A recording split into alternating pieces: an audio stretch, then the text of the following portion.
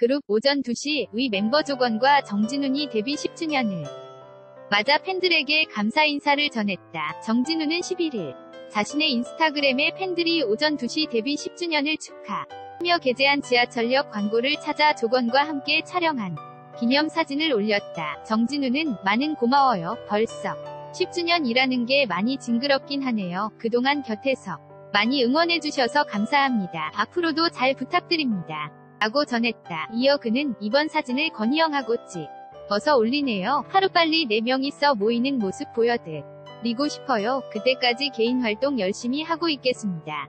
라고 덧붙였다. 조권 역시 자신의 SNS에 오전 2시 10주년 2008 이 노래 데뷔 감사합니다. I love you I am 라는 메시지와 함께 오전 2시 의 앨범 재킷 사진을 올리고 10주년을 기념했다. 한편 2A M은 2008년 데뷔한 4인조 그룹으로 이 노래 어떡하죠? 죽어도 못 보내 미친듯이 전활 받지 않는 너에게 등 많은 히트곡을 냈다. YTNS 타 강내리 기자 NRK 꼴뱅이 YTNPLUS.co.kr 사진 출처는 정진훈 인스타